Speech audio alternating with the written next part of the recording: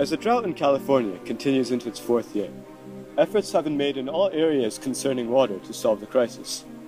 From our households to agriculturists to landscapers, everybody has been rationing water and cutting usage. But it still seems that we're fighting a losing battle. Now there's new hope, namely, the Internet of Things. Over the past few decades, humanity has created the powerful tool of interconnectedness, a phenomenon that makes vast amount of unsegregated data quick to gather and easy to analyze. Using this information, solutions to problems which seemed otherwise without hope begin to emerge.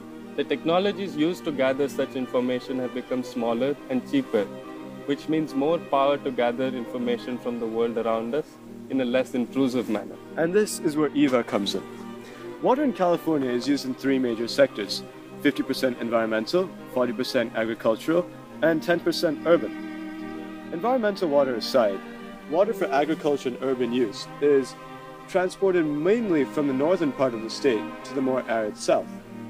This transport happens along the California State Water Project and the Central Valley Project, a network of canals, reservoirs, aqueducts, pumping stations, and power plants. It extends for more than 600 miles, two thirds the length of California. Much of the canal is open to air, and therefore evaporation is a major loss along the system. A paper published by UC Davis in the spring of 2015 estimates a loss of 9,300 acre feet per day through evaporation. That is 3 billion gallons, which is close to the daily water usage of 31 million Californians. That's 80% of the population. So as we turn the power of the Internet of Things on the problem of California's water usage in various sectors, why not also apply it to the aqueduct system as well?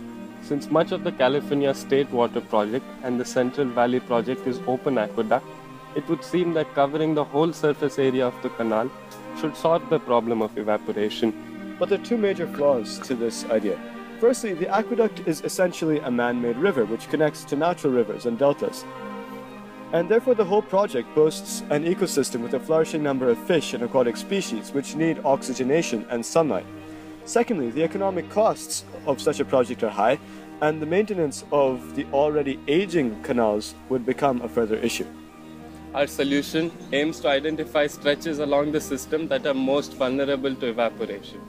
This will be done by measuring real-time data of various parameters that cause evaporation via small devices which float on the canal itself, so that they can collect the most localized data possible. After collecting and mapping this information to create a model, cost-effective solutions such as solar panel bridges or wind barriers can be strategically placed to bandage only the most vulnerable parts of the canal during different times of the year, therefore providing a non-intrusive and cost-beneficial solution. Eva is likely to pass through remote parts of the canal. It is possible she will not have access to cellular network or Wi-Fi. To transmit her information, she daisy chains her data through her counterparts till it reaches one of them who is in the vicinity of a Wi-Fi network. At the core of EVA, we have a Samsung Artik 10 microcontroller. This amazingly powerful and versatile board is tailored for the future of the Internet of Things. Artik works in congruence with many developing platforms like the Arduino, which was great for us. The Artik 10 is the brain that coordinates the collection of all the data inputs from EVA's sensors and is also responsible for putting all this data on the cloud via its integrated wireless connectivity. In this way, data EVA collects can be analyzed and studied from anywhere on the planet. Having Artik 10 on board also means a whole lot of computational power, making EVA completely autonomous when it comes to crunching data and navigating herself at the time she may slip off the grid. EVA is equipped with a GPS receiver shield, allowing her to give us precise information about her location. She is also equipped with a weather shield, which reads barometric pressure, relative humidity, luminosity, wind speed, and wind direction. EVA is powered in a sustainable way. She has a solar panel with a charge controller connected to a lithium-ion battery that powers Artik and the many sensors.